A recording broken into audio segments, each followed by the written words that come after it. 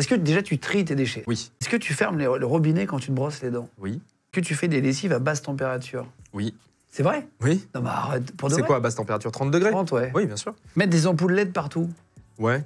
Ouais, mais bon, ça, c'est déjà, un- ça coûte moins cher en électricité. Oui, et puis ça, je crois que c'est un peu la base maintenant. euh, je pense que c'est devenu un peu la norme.